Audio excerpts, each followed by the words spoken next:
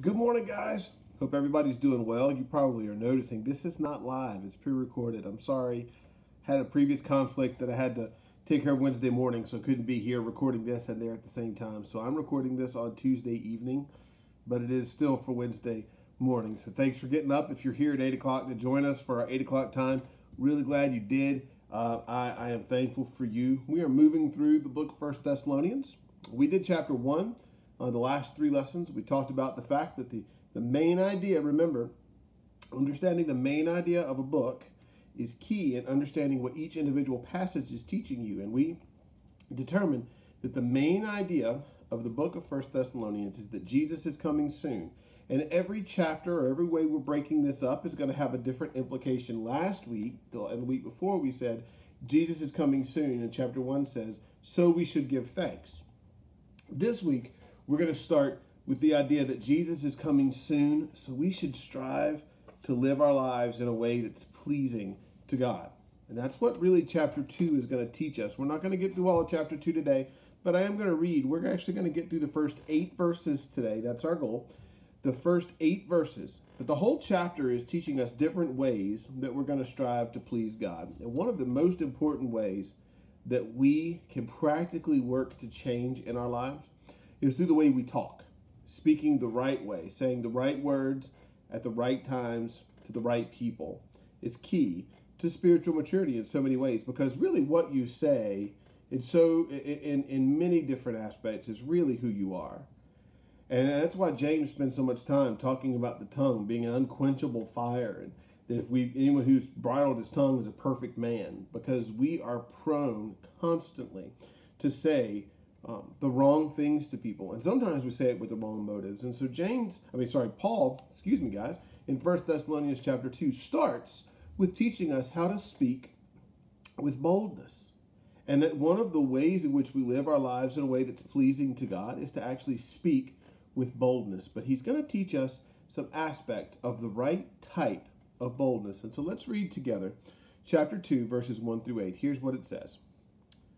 For you yourselves know, brothers, that our coming to you was not in vain. But though we had already suffered and been shamefully treated at Philippi, as you know, we had boldness in our God to declare to you the gospel of God in the midst of much conflict.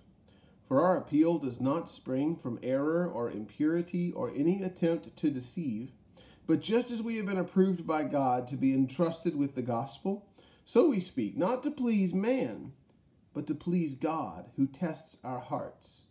For we never came with words of flattery, as you know, not with a pretext for greed, God is witness, nor did we seek glory from people, whether from you or from others, though we could have made demands as apostles of Christ, but we were gentle among you, like a nursing mother taking care of her own children. So, being affectionately desirous of you, we were ready to share with you not only the gospel of God, but also our own selves because you had become very dear to us.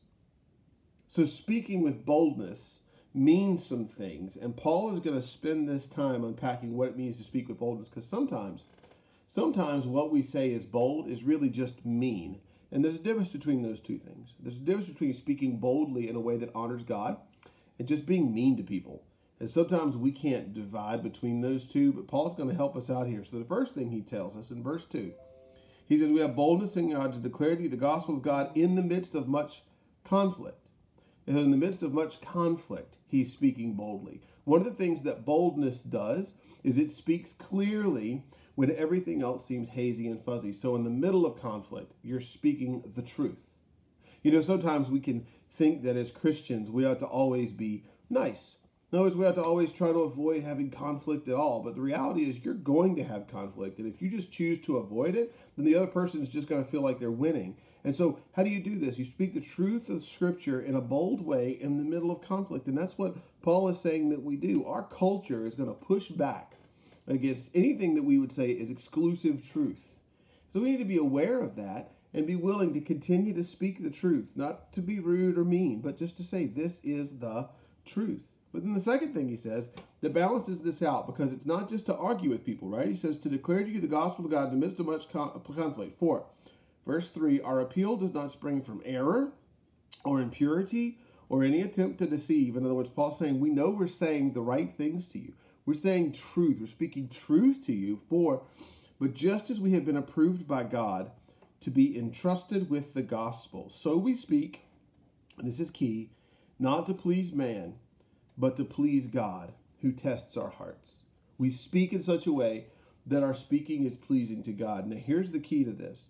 In order to speak in such a way that our, our, our speaking is pleasing to God, first, we need to be sure that whatever we're saying, we're not saying just so that we could get something off of our chest or so that we could express our displeasure about something. Sometimes what we what we say is boldness is what I said is really just meanness.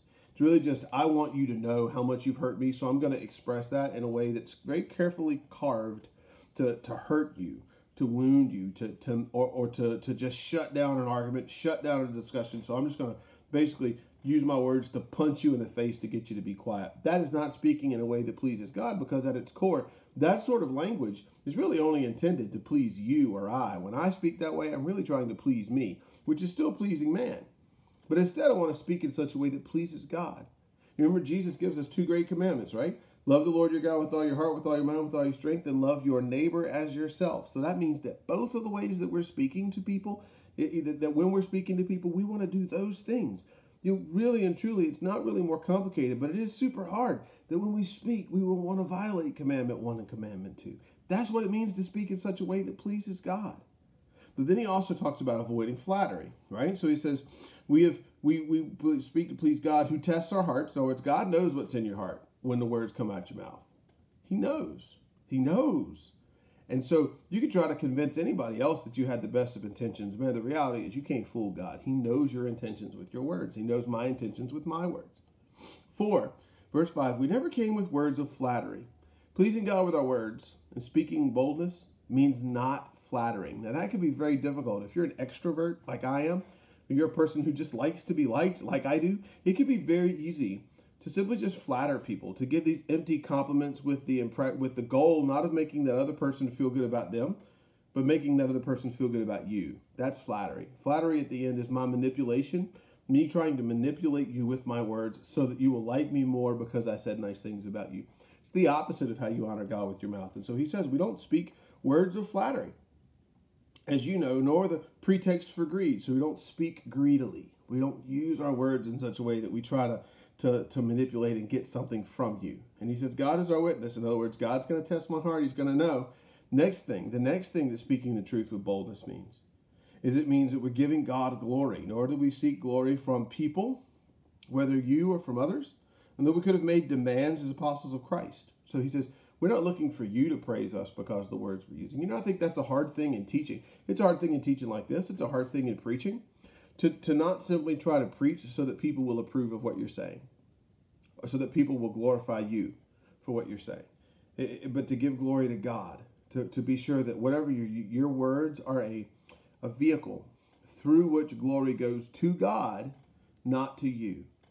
And that's what it means to, to please God by speaking the truth and by using our words carefully, right? So then he goes from this, but we were gentle among you in verse 7, like a nursing mother taking care of her own children. Isn't that interesting? It's possible, it's possible to be bold and to be gentle at the same time. Now we don't like that.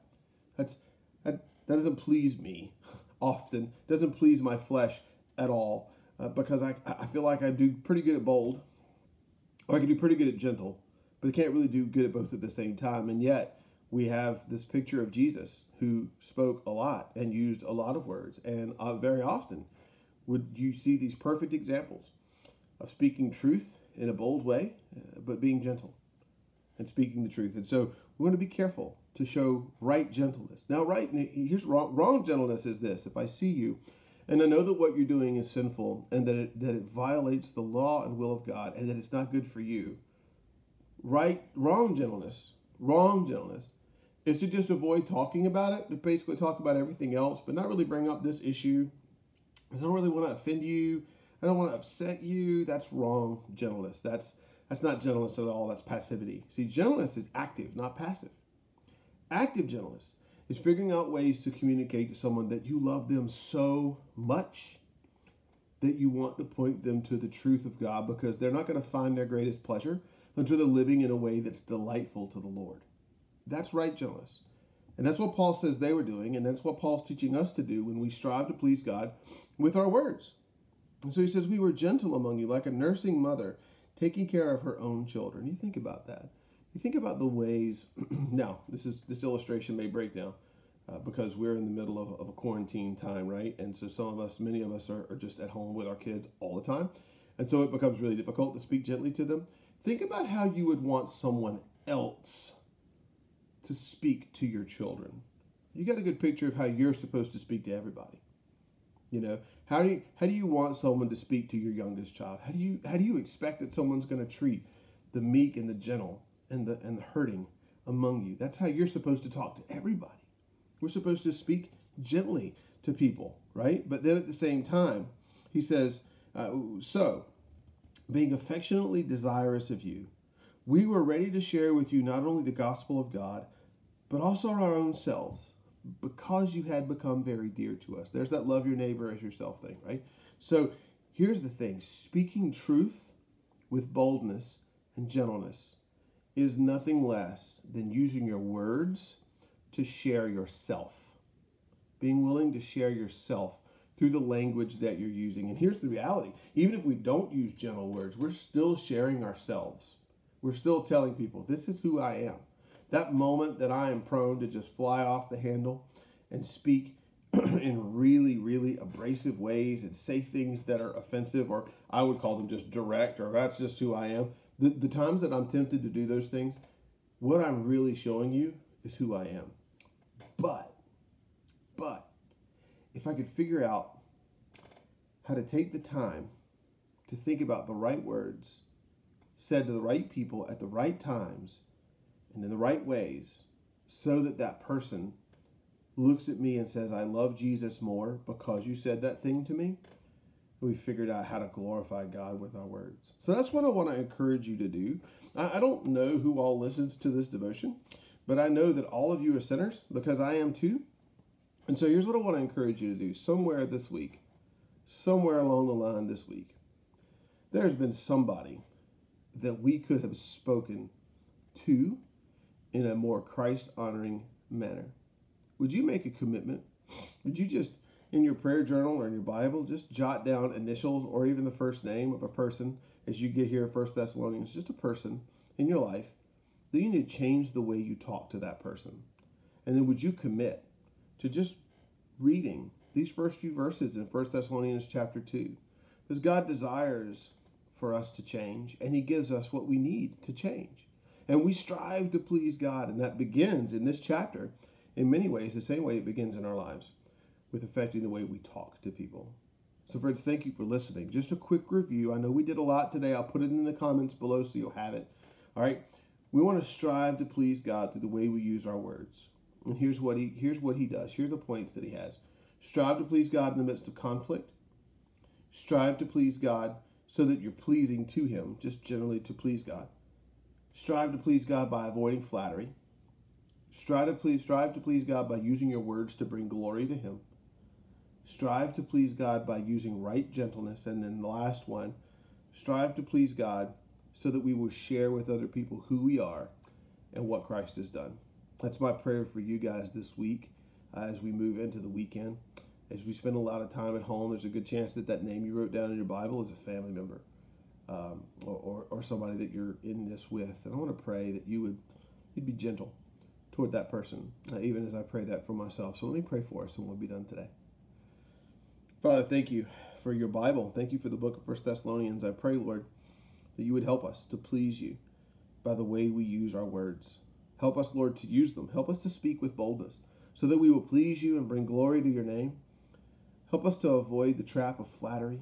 Uh, help us to avoid desiring just to get glory by the way we use our words uh, for ourselves. But Lord, help us to please you by striving to speak the truth, being gentle, even as Christ was gentle, but right gentleness, speaking the truth and loving people. Lord, help us to apply the two great commandments to the way we use our tongues. Help us to love you with all our heart, soul, mind, and strength. And Lord, help us to love you um, through, through loving our neighbor as ourselves. We thank you Again, for today, I pray for each person listening to this devotion that you would bless them with a good day at work or at home, with their kids, with their spouses, with their friends, uh, Lord, or if they're at home and alone. I pray that you would help them to be keenly aware of the presence of your Spirit and be quick to reach out to others so that they might have some companionship. Father, we thank you for the gospel that has changed us, and we pray this in Jesus' name. Amen. Okay, guys, thanks a lot. I will see you. We'll be back here again on Sunday morning. Don't forget, Sunday morning, 9 a.m. is our community prayer time. Jump on. We're going to be live. We'll put the link up on Facebook, and you can just come over to, YouTube and join us. And then Sunday morning house church groups, we'll have we'll put the material out early so your house church groups can have discussion together. Thanks, guys. I love you guys very much. I miss you, and I cannot wait to see you again.